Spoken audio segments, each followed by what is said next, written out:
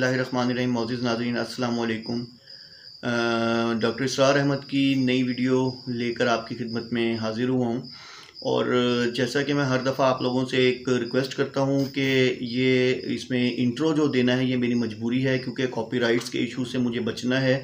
तो अगर आप चाहें इसको ना सुनना चाहें तो आप इसको स्किप भी कर सकते हैं। तो गुजारिश आपसे ये है कि मेरी वीडियो को शेयर कीजिएगा और इस चैनल को सब्सक्राइब कीजिएगा। आइए देखते हैं डॉक्टर इसरार अहमद की नई वीडियो। और उनके शब रोज़ एक दूसरे से मुख्तलिफ़ ही नहीं, बिल्कुल मुतजाद हो गए। और जैसे जैसे वक्त गुजरा, ये खलीज अमीक से अमीक तर और वसी से वसी तर होती चली गई। मजीद बरा हिंदुस्तान में अब दूसरा वस्फ देखिए। एक वस्फ तो हिंदुस्तान में इस्लाम का क्या था? क्यादत की ये तकसीम।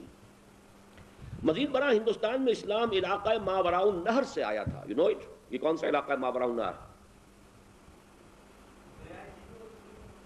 दरियाए जीहू के पार यानी इस वक्त जो है रूस की जो सरहद रूसी ममलकतें जो आज़ाद हुई हैं मुसलमान रूसी तुर्किस्तान जिसे हम कहते हैं उसकी सबसे लंबी सरहद जो अफ़गानिस्तान के साथ है वो दरिया जीहू है ये दरिया जो है इससे मावरा जो इलाका है गोया के मौजूदा रूसी तुर्किस्तान से इस्लाम यहाँ आया था ये खानदान गुलामा तुर्क थे सबके सब खिलजी कौन थे? तुर्क। सुबकतगीन और अलबतगीन ये किन के नाम थे? ये तुर्क थे। वो ये जो ताशकंद और बुखारा, इमाम बुखारी रहमत है और इमाम मुस्लिम और ये सारे के सारे, ये जो, ये शहर थे उस वक्त, ये जो असल में इस्लामी तमदन और उलूम, इल्म हदीस, इल्म तफसीर के असल मरकज थे। आलम अरब के अंदर तो बहुत सवाल आ चुका था। अरब खत्म हो चुके थे। अयाशियों ने उनको खोखला कर दिया। That gone down the drain लेकिन वो जो इस्लाम अब आया है मावराउ नहर से, उसके खसाइस क्या थे वो नोट कीजिए। मजीद बरा हिंदुस्तान में इस्लाम इलाका मावराउ नहर से आया था, जहाँ खुद मजहबी हलकों में मदरसा और खानकाह की तकसीम रासिक हो चुकी थी। मदरसे में पढ़ने पढ़ाने वाले मौलवी ओलमा मुफसर मुहदस फ़कीर मुफ्ती ये होंगे और खानकाह में मुर्शिद होंगे, तस्किया नफ्स करेंगे। उनको लोगों की जो है ज़िक्र अदकार के तरीके शगल अशगाल सिखाएँगे। ये तकसीम हो चुकी थी। और उनके माबेन मुसाबकत ही नहीं, मुनाफरत का आगाज़ हो चुका था। उलमा फप्तियाँ चुस्त करते थे सूफियों पर, ये जाहिल लोग इन्हें पता ही कुछ नहीं। और सूफी फप्ती चुस्त करते थे मौलवी पर, ये दुनियादार मौलवी है। ये अपना फतवा बेचता है कि सरकार दरबार के अंदर जो है, वो अपनी रसाई हासिल करता है। मुनाफरत, सिर्फ़ बौद्ध नहीं, मुनाफरत पैदा हो चुकी थी और जहाँ मदारिस में फ़िक़ हनफी और अशरी और मातुरीदी अकायद और यूनानी फ़लसफ़ा और मंतिक और उन सब के माजूर मरकब इल्म कलाम का दौर दौरा था। यानी हमारे मदारिस में क्या था? मदरसा और खानका अलहदा हो गए ना। इकबाल का एक शेर है, उठा मैं मदरसा और खानका से नमनाक। मैंने दोनों देख लिए, दोनों में कोई हकीकत बाकी नहीं रही, खत्म हो चुके मदरसा भी खत्म हो चुका खानका भी खत्म हो चुका। तो मदरसे में क्या होता था? फिर हनफी। बाकी ना यहाँ फ़िक मालिकी से कोई वाकिफ हुआ, ना फ़िक हमली से, न फ़िक शाफी से, किसी फ़िका से। हिंदुस्तान में कोई सरोकार हुआ ही नहीं। इलाका मावरा नहर में फ़िका सिर्फ़ हनफी थी, लिहाजा हनफी आ गया इस्लाम के अंदर। इसी तरीके से अशरी और बातुरीदी अकायद अब इस तफसील में इस वक्त बनी जाऊँगा। ये फिर कभी पढ़ेंगे इस्लाम और पाकिस्तान नामी किताब अगर मौका हुआ तो फिर उसमें मैं आपको पढ़ाऊँगा। इससे मुराद क्या है? और यूनानी फ़लसफ़ा और मंतिक, ये फ़लसफ़ा और मंतिक आज तक भी हमारी अरब मदारिस में पढ़ाया जा रहा है, वो यूनानी। और उन सब का माजून मुरक्ब इल्म कलाम का दौर दौरा था।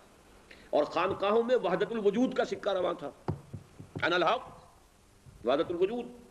लिहाजा इस्लामी हिंद में मज़हब की इमारत इन्हीं दो सतूनों पर उस्तवार हुई, यानी एक शदीद हनफियत और दूसरे वजूदी तसवुफ ये दोनों अब आप अच्छी तरह नोट कर लीजिए अल्फाज। शदीद और कट्टर हनफियत। मैंने एक और इजाफा कर दिया जमा वजूदी तस्वुफ वादतुल वजूदी कह लीजिए जिसके इमाम आज़म कौन है? जिसके इमाम आज़म कौन है? इमाम अबू हनीफा। इमाम आज़म शेख मोहिउद्दीन इब्न ये है हिंदुस्तानी इस्लाम। This is the diagnosis